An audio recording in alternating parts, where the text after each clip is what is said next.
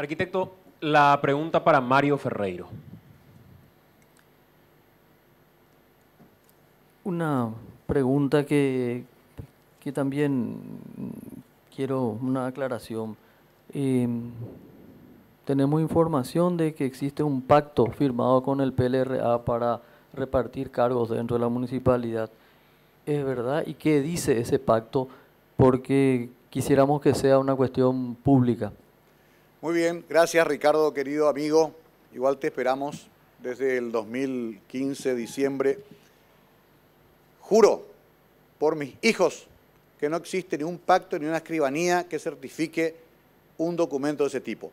Lo que sí tenemos es un acuerdo de gobernabilidad político en el cual simplemente nos comprometemos a cogobernar con todos los sectores, 14 partidos y movimientos, de manera armónica y sobre todo sustentando a ambos grupos.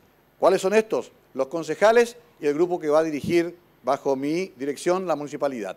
No existen, no crean en fantasías, por favor. No existe un acuerdo que se ponga por escrito, y menos una escribanía, una repartija supuesta de cargos.